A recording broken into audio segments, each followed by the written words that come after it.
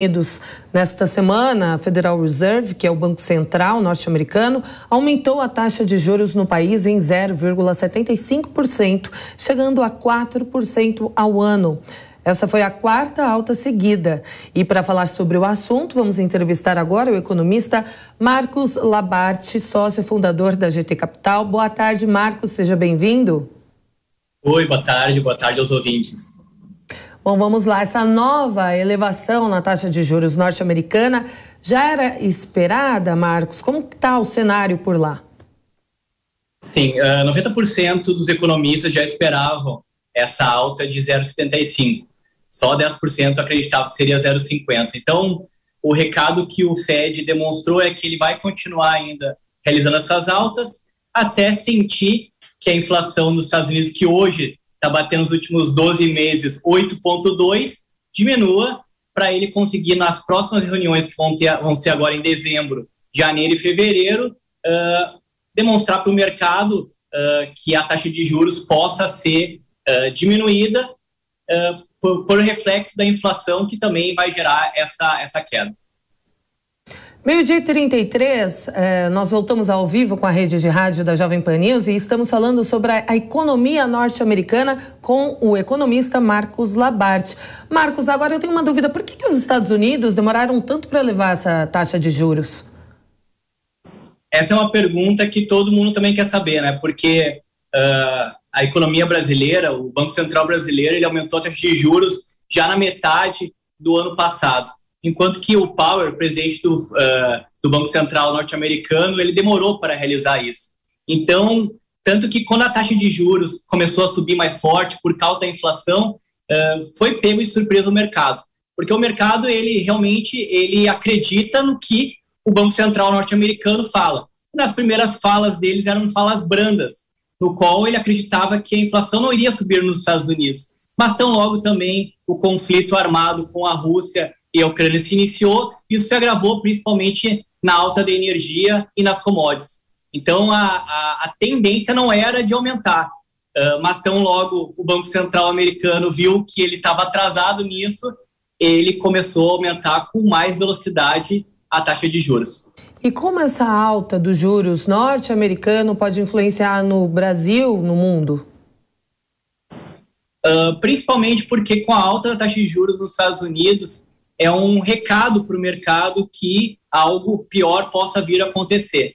Então, lembrando que a economia norte-americana é a economia mais segura do mundo, então a alta taxa de juros nos Estados Unidos faz com que os investidores internacionais voltem à economia americana, né, fazendo com que o dólar uh, suba, o que né, uh, não está acontecendo no Brasil. Né? Por quê? Porque o Banco Central uh, brasileiro ele aumentou a taxa de juros uh, com antecipação já no ano passado, e isso está uh, sendo muito bom nesse momento. Lembrando que a inflação no Brasil está abaixo da inflação nos Estados Unidos. Pois é. Agora, Marcos, a pergunta é de Jorge Serrão.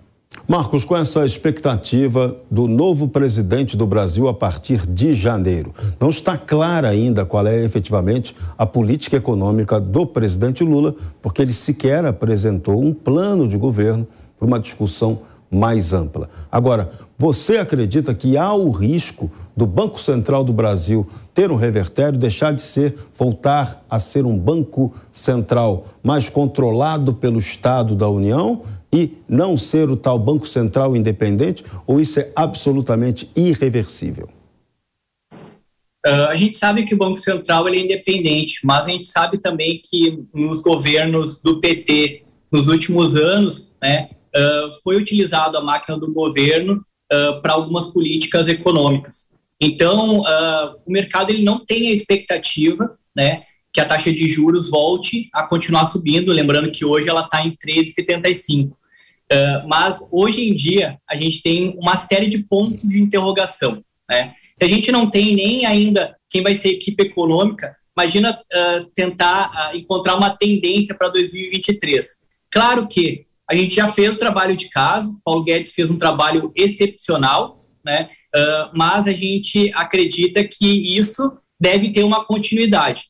E um Banco Central independente, ele é muito bom principalmente uh, para o mercado financeiro, analisar e tomar as decisões uh, para frente. Então, respondendo a tua pergunta, uh, é muito ponto de interrogação, é muitas dúvidas.